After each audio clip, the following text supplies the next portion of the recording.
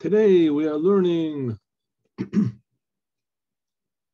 again Likutei Torah, book written by the first Rebbe of Chabad, designed solely and uniquely to bring Mashiach.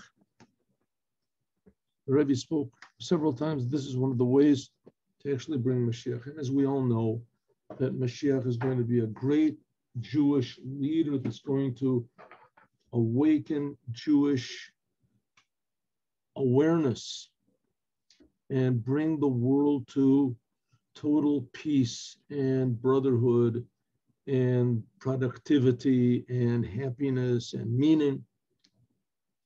Oh, very nice. Good morning. Okay, here we go.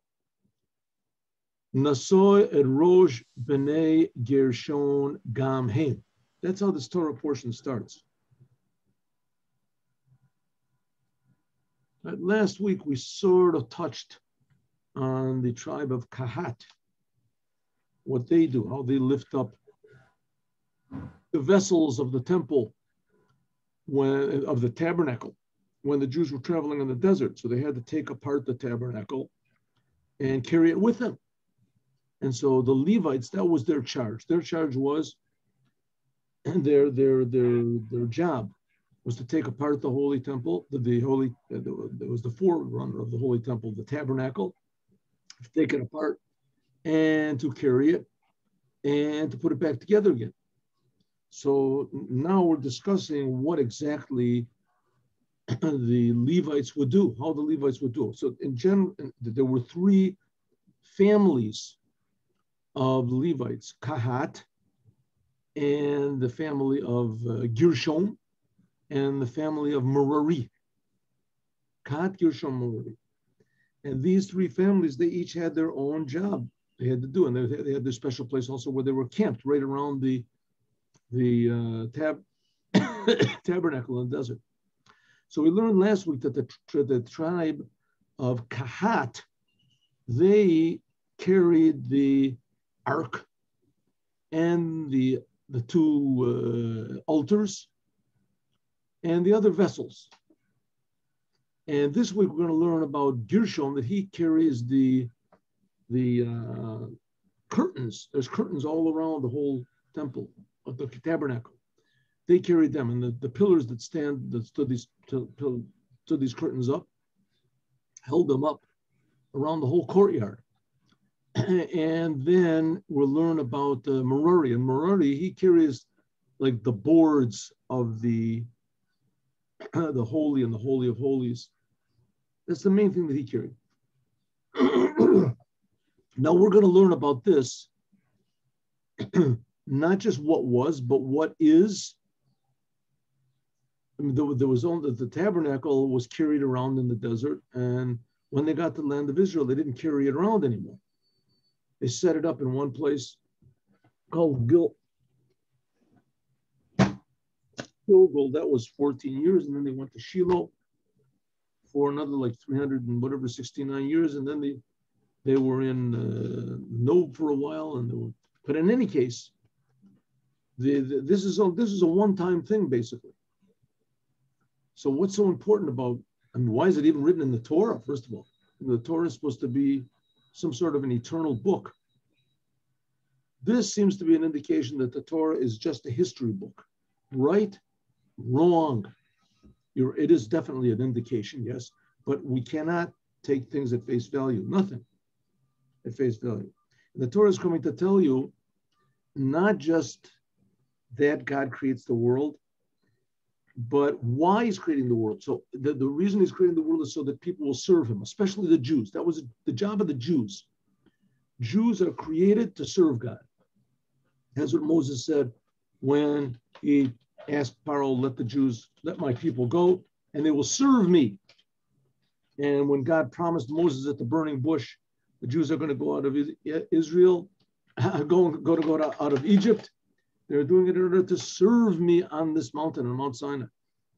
That was the whole secret of serving God. Now here, the, so uh, especially the temple. The temple was certainly, that was the place where it was the center of serving God. and Mashiach is going to come and build a third temple. It's not going to be a spiritual place. It'll be an actual physical place that's going to be built. According to a lot of opinions, it's going to come miraculously from heaven. And this third temple is going to, the main thing is serving God. And we, we said this a lot of times. That's why the third temple will be built. And then all the Jews are going to come to the land of Israel because they want to serve God. So this is the whole idea of serving God. Okay, now we also serve God, right? We're also serving God, no less. How do you, how are you supposed to serve God? So it says, well, that's what the temple is for. That's what the tabernacle is for, to teach us how to serve God. Eh. Eh, doesn't Joey, huh? Your, your, your picture is dominant over here. I'm trying to get, ah, there we go, okay.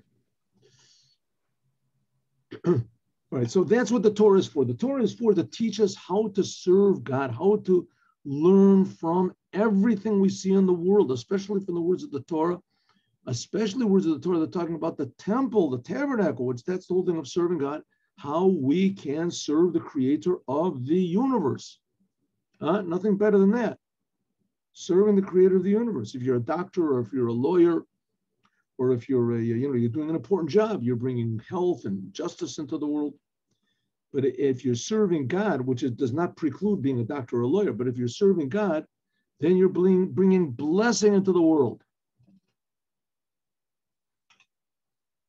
And that's what we're talking about here. Nasoy at Rosh Bnei Yisrael. That's how Parshat Naso. That's how it starts up. Naso at Rosh Bnei Yisrael. It means lift up the heads of the sons of Gershon in this case, it means count. Count the numbers of the people. Make a head count. Count the numbers of the tribe of Gershon. Okay, but the simple meaning is lift them up. In other words, appoint them. Appoint the people Gershon. What are they supposed to? Yesh and we have to understand. Lama Ne'amar, why was it said, B'nei Gershon and B'nei Gershon, Gamhem? That's what it says. If you look in the Torah portion, it says, Naso et Bnei Gershon Gamhem, also them. Right? We explained already the, the previous, the end of the previous Torah portion we just read on Shabbat. We talked about the one of the three families of the Levites. And now we're talking about another one, and then we'll talk about the third one. Why does it on this one it says also them? what's this mean to us as far as our serving God? Let's first of all, let's we'll see what serving God means. Gam also mashkadu that what it says b'nei Gershon. Why does it say this by b'nei Gershon? Why does it only say by the the the, the family of Gershon? only by them does it say Gam Cain also. Gam it says. Remember this question because we're going to talk about a lot of other things until we get back to the answer. Dav Galpi Aaron, and it says, Alpi, according to Aaron and his sons, Elazar and, Itamar, Tia will be called Avodat Bnei Gershoni. And it doesn't say by Kahatam or It doesn't say by them it's going to be according to the directions of Aaron and his sons, even though that it certainly was. Ach barhine. So Techila Tzarech Lavin, first of all, we have to understand Mishkan Let's understand, first of all, what is this thing of the tabernacle and traveling in the desert? What does it mean that the tabernacle traveled in the desert? what does this come and tell us? He Hine, behold, Shorish, the source. Shorish, Tam, Nasil, the Midbar, the reason that the Jewish people had to travel around in the desert for 40 years, Imam Mishkan, with the tabernacle of a Kalim and all of the vessels in the tabernacle with the, the menorah, with the, the, with the candelabra, and the, the altars and things like that.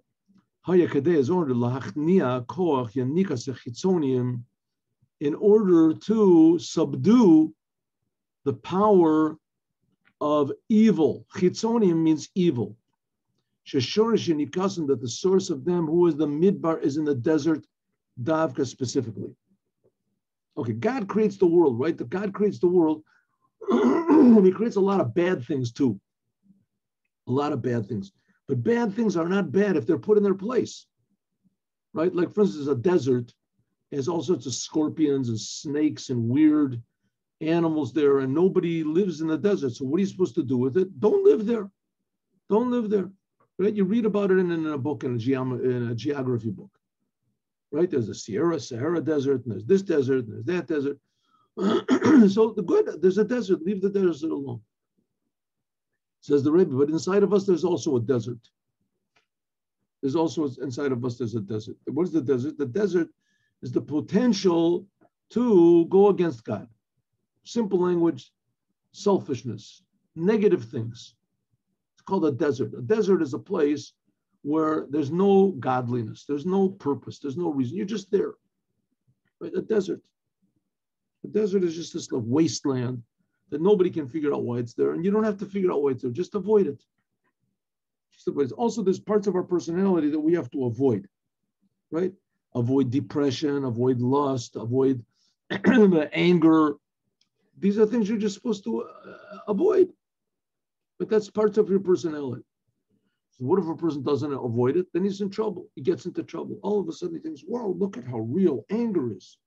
You know, what's the thing? This, this, is another option for me in life. You know, I can get angry, I can have lust, I can have, I can get addicted. Well, this is amazing. Look at this. I can get addicted. This is a whole new wonderful world of addiction and aggression, and and people get caught up in this. That, that's called yanikat achitzonim. Means that if the desert is in its place, then it's okay. But as soon as the desert starts to take over the rest of your you decide you want to live in the desert, then you, you got problems. You got big problems. Now, and that was the that was the whole case. That's how God created man. That's the way God created man.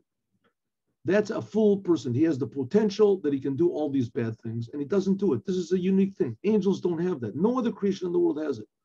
Animals don't have it. The, the, the, the angels, whatever spirits don't have to the potential to do bad or to do good, to make a choice this way or that way. That's a very unique human thing. Says so. So you know, if on the other hand, that person could say, "Listen, if God created it, so let everybody do what they want to. What what do you care what people do? It's a creation of God. So let people, you know, they want to get angry, they want to be destructive, they want to be, you know, to take over the world with bombs and things like that. Why not? Let them do it. It's, it's a it's it's an option you can do it, right? So he says, right, you, you got a good point, 100%. But God gave the Torah. And the Torah says there are certain things which are conducive to life and which bring blessing. And there are certain things which are conducive to death and they bring, bring curses, bring curses on them. Like it says, like Avram, Anochi. Oh, sorry, sorry. I skipped the line. Hine, behold. No, I skipped more than I thought. Here we go. Ulochem, therefore, lochach, therefore, b'midbar, and this idea of the desert, ein shom gidol samach, no vegetation can grow, the or, or whatever is uh, grasses, kalal at all. Ella she shemamon bilvat. The only thing that grows in the desert is wasteland, desolation. Desolation. There, the, the desolation grows really good there. Ki, because hashpa he misitra the kedusha, because anytime that there is a blessing, blessing always comes from holiness. Life and holiness are synonymous. Life and, and holiness are synonymous. The holy temple was holy because it gave more life. People they felt more happy, they felt more meaningful. They felt that life is good, that we're here for a purpose, something higher. Because even it says tzaddik Hashem, the God, it says by God that he's a tzaddik. Tzaddik, what does it mean? Tzaddik is the aspect of giving over. Giving over. Tzedakah. Who mashpia obal tzedakah. Tzedakah means charity. God just gives. The king also, Bakal Sitra the Kedusha, and also everything that is on the side of holiness. Yesh The idea of holiness is giving, life, happiness, meaning. Hine, behold, Kodesh Baruch Hu, God, Chesed Nimshach Mitzad Gedula. By God, His aspect of kindness, of life, of giving, creating. This is what's called God's greatness. Kamosh Katuv, Erech Apam Godol Chesed. It says, by God, it's great is His kindness. Bukal Sitra and anything on the side of holiness, Chesed Nimsa uh, Nimshach uh, Mitzad Bittel kindness comes because of what surrendering one's ego. Shabbat Hashem, that a person negates himself to godliness. You can be a conductor, but you you want to do something that's holy. How do you have to do it? Holiness means being connected to God. Holiness means connected to God. That's what holiness is. You want to go, you have your, you have some sort of religion, you want to go to heaven, you're thinking about going to heaven. You look in the book, how do I go to heaven by doing this? That's not holiness. Holiness is the opposite of selfishness. The opposite of selfishness. If everything a person does is, is for the sake of honesty, is for the sake of good, for this, right? It's like anything, like in an in in in in an orchestra, right? An orchestra. So the, if a person just lives musician for the music, then that's a true. If he lives because he gets attention from the crowd, or he makes money from it, or it, it gives him a name or something like that, then okay, he'll be a musician, but he's never going to be the top musician. He's never going to really, you know, get it because he loves the music. He's using the music. The same thing is with life. If a person just uses life for what he's going to get, what he's going to receive, then he's never going to be happy. It's not really life. It's always worry, religious. It's always this, right? Says the whole side of holiness is when people don't think about themselves. They think about what does God want in this world, this physical world. God will take care of going to heaven. Don't. But called Sitra the Kedusha, that's chesed is drawn because of bittel. Bittel means, we say, surrender, uh, harmony, being harmonious with God. Shabbatul Hashem, that is totally negated to Hashem. Like a, like a, the, the, violinist in the orchestra or whatever, he's he's negated to the music. That's all he wants. He wants the music to be beautiful. Same thing, he's totally negated to Hashem.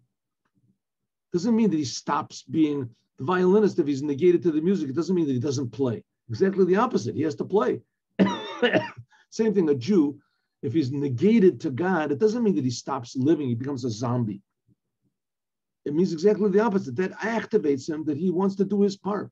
And from that, it spreads to all the, the, the world, the whole entire world. Then then a person treats himself like he's nothing. Lochen, therefore, roy litain so therefore he wants to give to others.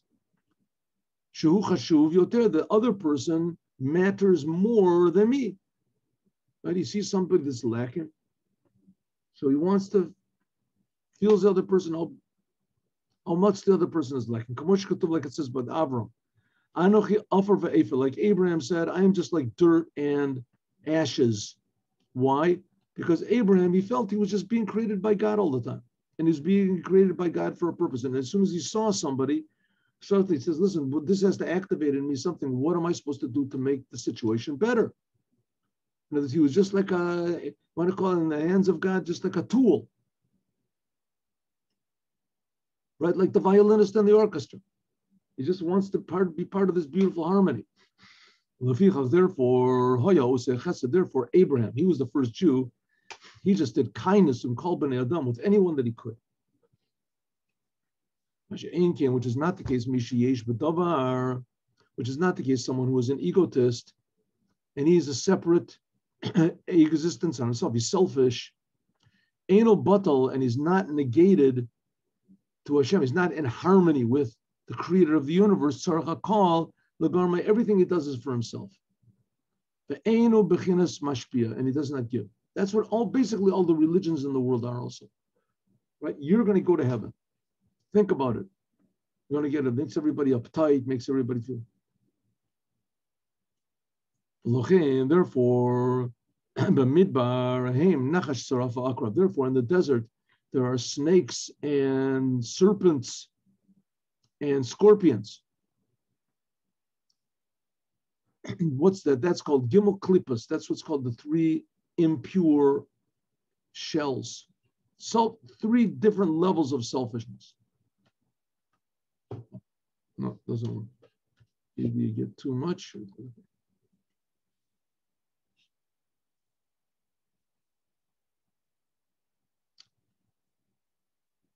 Hine, behold, Therefore, Nasias Aaron, Yisrael. Therefore, the Jewish people, and with the ark, together with the ark, and this tabernacle, that was the main thing of the tabernacle, was the ark and the altars. They, they traveled in the desert. Today, in order lahachnia at the midbar, in order to subdue, subjugate the desert. Lachach, therefore, Nasuas Mishkan Membes and so Therefore, they carried this tabernacle in the 42 journeys that they made. Shem Mab, which just represents one of the names and aspects of God, which is called the name of 42 letters. Hainu al yadei means of the revealed godliness shahaya b'mishkan that was in the Mishkan. Kishen Kishenasu oto midbar when they took it into the desert, Mimela nichna'u, automatically it became subdued. Like it says, behemoths donig kuli. Like sometimes they used to, they, they made, a, you make a, a village or something in the middle of the desert. So who wants to live in the middle of the desert? It's terrible. You can't. So you, they bring water. They bring water somehow or other. They bring uh, the, the, irrigation, and they make it in the middle of the desert. Well, eventually, what happens is is that the climate starts to change. The climate starts to change. There's a little bit of water over there, and then there's plants and there's shade. And then from the shade, they can grow things. Maybe they have to fertilize the ground. But then it becomes like a, a whole new ecosystem. And maybe the, the, people come to live there, and then the, because people come to live there, so maybe there's, you know, garbage. They can fertilize the ground with it also. and the more people that live there, and etc. etc. until finally the place becomes livable place. Well, that was the same thing over here, but here we're talking about spiritually. The, the, the, tabernacle went through the desert, and the Jewish people there made blessings, and they they, they made sac- with the sacrifices, and, and they did the commandments, and they learned the Torah, and this spiritually changed the desert. Now, here's we have a very big, major point, a very big point we have to make over here. Very, very important, very important point, and that is that the whole world depends on the Jews. That's what it says in the Torah. The whole world depends on the Jews. The Jews are not just, you know, an, an uh, how do you say, uh, an autonomous group floating through this, you know, reality, floating through time, sitting on some mountain. You know, the Jewish people, the, the, the whole entire world, creation depends on the Jews. it depends on the Jews. So what does it mean? It depends on the Jews. If the Jews do what God says and do, then the whole world becomes good. The whole world becomes a good place. And the people are the evil people and the bad people. Either they all transform and they just realize it's, you know, they can get whatever they want to. Or the people that just want to be evil, so they just, they're cut off from life. They're just cut off from the creator of the universe.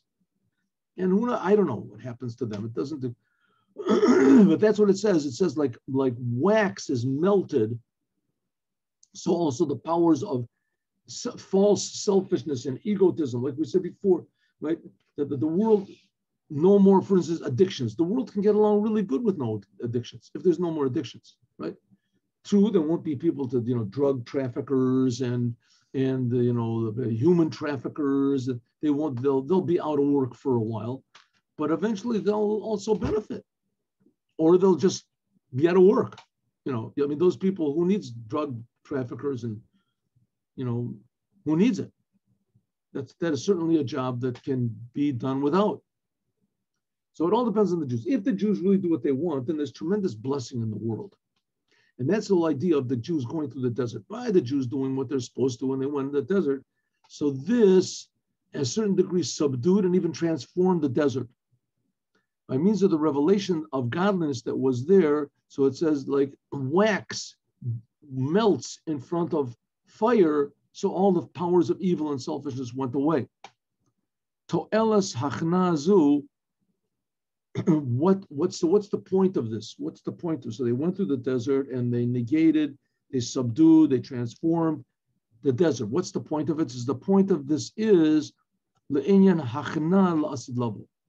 This is the humility which will be achieved by all mankind in the future. That's the whole idea of the Mashiach. The Mashiach will simply put everybody into a state of gratitude, gratitude and humility, not to be humiliated. And, and what do you want to call it? The, the humility, there's a better word, um, a nicer word, humility. Uh, uh, except I don't know. Humility is a good word. I think of another word afterward. Al by means of Shenichna Techila, that by means of that, first of all, you negate the power. And We're getting to get back to all of the Gershon Merari and this, this. We're going to get back to this by means of negating all this. There can be revealed godliness in the world. Hashafal this low world. Shalochim, therefore, what is Shalom? Uh, uh, Shalom. Like it says, there will be revealed the light of God. By means of that, the world becomes harmonious with godliness. Techila first, Makar Aseta, first of all, the source of darkness, Vayesh, and egotism, selfishness. Then Yochalios there can be afterwards, Gila a revelation which is in the future. Maybe we could say this is like what it says that by means of serving God, first of all, we have to have eskafia, and I'll tell you what that is. In order that by means of that, there can be afterwards level as eshapcha chashuchal and similarly, by serving, this is the footnotes of like the third Rebbe of Chabad. And similarly, it is that's how what, what is serving God? Serving God is first of all, you have to make a battle against your own nature. That's called escafia. Escafia means you have to force yourself to do good and force yourself to refrain from bad. Forcing yourself. Escafia. Kofeh. First of all, a person has to force himself. Nobody naturally puts on tefillin. Nobody naturally keeps Shabbat. Right? No one naturally avoids eating milk and meat together. Naturally, what difference does Sunday, the, the, Shabbos is like every other day of the year. What could possibly be the difference? Well, what's the difference if you eat the, the milk and meat separate or if you eat it together? What's the, what's what could possibly be wrong with it? So the answer is, is that right? Naturally, nobody keeps the Torah. Naturally, maybe there's people that naturally don't like to kill. That could be. There's people that don't like to kill. And even those people, you get them mad enough, right? The next door neighbor drives over the lawn enough times. Who knows what, what a person is, is capable of doing? and the world, you know, that, that turns you against the other people in your mind that makes all sorts of tricks. Who knows? Steal. All these things are natural character traits that people never would think in a million years would steal or do these things. All of a sudden they catch them stealing, right? All of a sudden they find them embezzling or whatever. So that's the whole purpose of the Torah. The Torah is there to tell you to change your nature. Nature does not dictate that a person should, you know, they eat matzah on Passover. No one would come to this naturally. It says Abraham did. He came to it naturally because he was so tremendously devoted and curious and thirsting to be serving God. So he came to this, but he was to the degree that he had had uh, you say uh, the, the, the humbled himself to the creator of the universe that Abraham came to the conclusion that there are all these commandments came to it. That's the, who's going to do it like that? Well, the Torah was given in order to change nature. That's called escafia, forcing yourself, forcing yourself to do bad, forcing yourself to do good, and forcing yourself not to do bad. Don't take me out of context. Then after that, there's what's called eshapcha. Eshapcha means you actually enjoy, you really feel the goodness, the godliness, the life, the pleasure in doing good. and you feel how terrible and disgusting and wrong and bitter it is to do something bad. That's called ishapcha, transformation. Transforms darkness to light. without this level of iskafia first, without having this thing of controlling yourself first, forcing yourself to do good and to turn from bad first, you can't come to transforming darkness to light.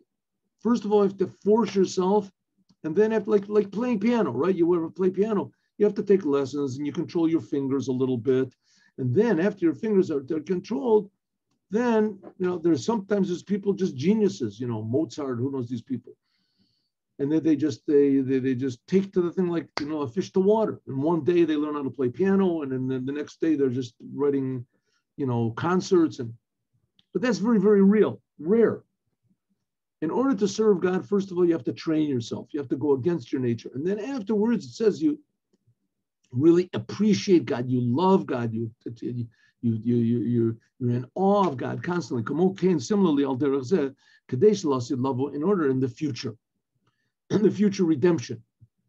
There should be revealed godliness in the world. And this is, by the way, how it was when Adam was created if Adam wouldn't have eaten from the tree. And again, there was another chance when, on Mount Sinai, but those were only local revelations. In order there should be revelation in God in the world, that the darkness should be transformed to light, like it says, the eight Erev or like it says, in the time of evening, there will be light.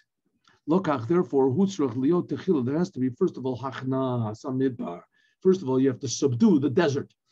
Ayin Mashikatu, look over, says on the Masay. Later on, we'll learn about this. Inyan Agilui, this revelation that's going to be in the future by means of the Mashiach, who kihine be'emes really kamei atzmusa yisparech ein shum bechinas hester vehelam Klo. By God, there's no concealment at all. Because in front of God, everything is like nothing. There's no difference to God between before the world was created and after the world was created. In other words, what are we saying here? That the God is, there's nothing outside of God. God creates everything. We learned other places, but in order for God to create, God's reality is so intensely real, it's un, not like anything. It says that if an angel would reveal himself to a person, the person would die. It's just too much, too much revelation. It says in the, in the, that the, the reason that the that what is it the, that Hagar she could see angels. She was used to seeing them in the house of Abraham. She got used to it. If you got to her you but a person sees an angel you go now angels are just creations of God. It's like nothing. Angels it says when God puts his little finger it says he burns up all the angels. The reality of God is so intensely real we can't imagine that there's anything more real than us. That's our big problem. We're like living in the desert we're, de- detached from real life. But in the future, there's going to be real, true life and real, true reality will be revealed. We'll feel that we're being created. We'll feel that we're being created for. a purpose. We'll feel our Creator. that's what it says. That's when that is felt. It's going to be such an intense level of life and reality and and, and, and, and meaning and blessing that it's going to be something amazing because in front of God, the whole world doesn't exist. It does not exist at all. And that shows the amazing miracle of this world that the world is being brought into existence constantly because, from God's love. In other words, God wants us to be here and He wants us every single instant to be here. We feel that we'll feel one of the things of the Mashiach will feel the intense love of God, the whole world will feel it, that He's creating us. This physical world, people won't think about going to heaven anymore. This world will be infinitely more real. People won't want to leave it. They won't want to leave this world even in thought. What's going to happen after I die? What are you talking about?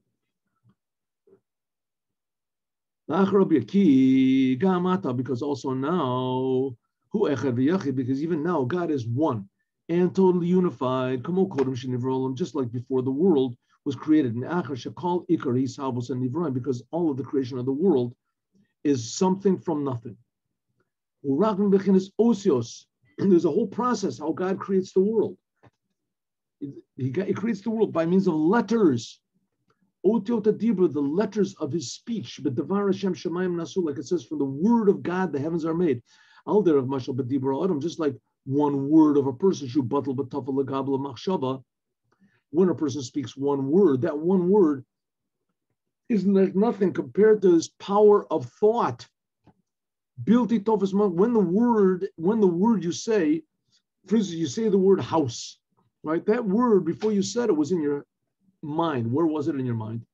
It says in your mind that word house. It didn't have any place at all. It was it was nothing. Where was the the word? Not just the word before you spoke it, the word before you thought it. Where was that word? It, it was there. It was inside of you. It was a potential, but it didn't take up any place at all. Only when you speak, it comes out. Then you can hear and the word becomes something separate. Kach lamailas also is by God. The world is created by God's letters, the letters of God's speech. Yud Moros and the ten utterances, utterances, Nagabi and Nivroim, these ten utterances that God creates the, the world with, and He creates the angels with, and He creates all these upper spiritual worlds. He's creating it all yesh mi'ayin. So the word of God is infinitely more real than the world. But on the other hand, the word of God is infinitely nothing compared to God himself. So therefore, the world seems to be a separate thing. Of Musa is regarding to God's essence, the world is like nothing. What do you mean like nothing? It's it's infinitely more nothing than what we think is nothing. Right? But we, what is by us? What is the idea of nothing? You have something, you take it away. That's nothing. I had money in the bank. I, I took it out. Now I have nothing, nothing in the bank. Right? But by God, He knows what nothing is. He knows how the world was before it was created. That was a level of nothing that we can't imagine what it is. And that's what it is now. The world was standing on absolutely nothing. God is creating us all the time. It's an incredible miracle. Lokach, therefore, even though the revelation of these letters of God's speech. Now, these letters of God's speech, they create time also. So time is just a creation. Nira Olam, the world seems to be something. That's why I never, I can't understand these people that say the world has to be, you know, five trillion years old, five quadrillion years old, because God couldn't create it so fast to me, it just doesn't make any sense. I mean, time is also, a. how long did it take God to create time, right? It took him a trillion years to create that. That's, that's ridiculous. Time, it's just a creation. It didn't take God any time to create time before God had created time. There was no time. what time is it? I don't know. God didn't create it yet. but it's low, but God, by God, Ain Hester Vehelam Kalal, there's no concealment at all. Alkin, therefore, Lasid Lava in the future, Shid Gala Kavod Hashem, there will be revealed the glory of Hashem. Shu Bechinas Gili then there'll be the revelation of God's essence. Azai, then, Lo Yastir Shum Hester. Then we'll see what an amazing miracle it is that we exist and how much God loves us. He wants us to be here. When there's a revelation of God, it's not just like turning the lights on in the movie theater. All of a sudden, the whole thing goes away. We realize, right, that the life was but a dream. The whole thing was a big bluff and that I don't exist anymore, and that's that's it, right? The sleep pretends to dream. There's not no no world that no, exactly the opposite. We'll realize how amazingly, incredibly real this world is that God is creating it from nothing all the time. Then there won't be anything concealed in God at all. The Agila Elokus will be revealed godliness also Ba'asiya in this physical world. This is this is the lowest of the four dimensions of reality it's called Asiya, this world. And above that is the world of the angels. That's called Yetzira. And above that is the world of the, it's called the world of the souls. That's called Bria. And above that is the world of godliness. That's the world of Atzilut. In this low world, which is called Asiya, there'll be revealed the essence of God, Ajiru called Basar, until all flesh will see and feel. Afilu Bahasagat Sichlo Gashmis people will understand They'll understand godliness. In order for this, this revelation to be in the future, therefore, that's why there had to be the Mishkan. That's why there had to be the tabernacle. And this tabernacle, of course, is the forerunner of the Holy Temple, which is a forerunner of the third Holy Temple. But first of all, there had to be this in the desert in order to in order to start to transform the desert. And that's the idea of the traveling of the Mishkan actually in the world. That was what it was back then. Well, so it is also now. Nefesh, in the level of nefesh, what's called the soul, the lowest part of the soul. Physically, we also have to learn from this and simulate and copy what was in the Mishkan. And now we're going to get to what is Gershon with the with the tapestries covering them over. What is this work of Gershon in our soul? As we'll talk about more, God willing, tomorrow. Okay, wonderful. Here we go. Oh, here we go.